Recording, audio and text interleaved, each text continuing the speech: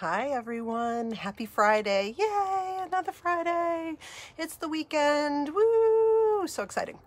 Um, so oh, I've had such a busy day. I've been running around doing so many things, but I wanted to get to you guys um, so that I could talk about. This is the last thing I'll, I'll talk about for Maxis this week. I'm sure I'll be wearing more Maxis in the future, but just for this specific week, um, I wanted to wind down maxi dresses week with how to accessorize your maxi.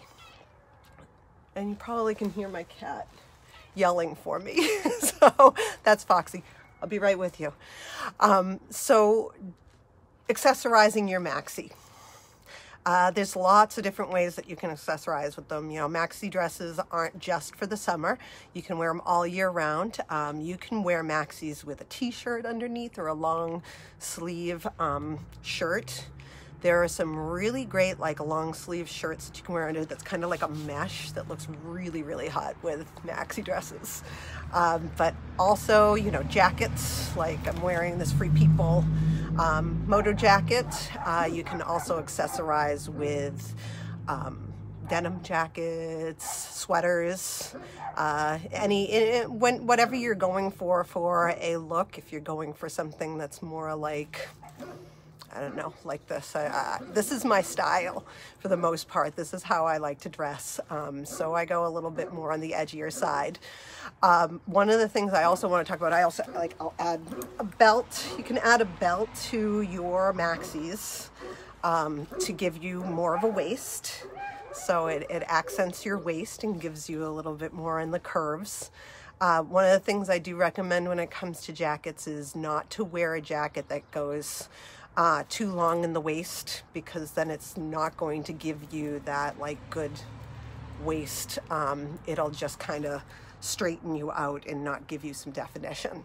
So that is one thing I tell people to look out for. Another thing is you could wear like a long um, sweater, like a like curve defining sweater to go over it to look a little bit more like sophisticated and elegant. So that is some of the tips that I have for like jackets and sweaters. Uh, when it comes to jewelry, so my my overall for jewelry is uh, not to over accessorize, definitely to edit your accessories. So if you put on a bunch of different accessories, take a good look and see what it is that you want to be the centerpiece for your accessories. Like today, mine was the belt and also the earrings. Um, I love these hoop earrings and I want them to be more of the star of the show on the upper end of my body. So I decided not to wear a necklace. So it would definitely show off the earrings and not pull down um, your eye to something different. Also, I'm completely obsessed with these rings.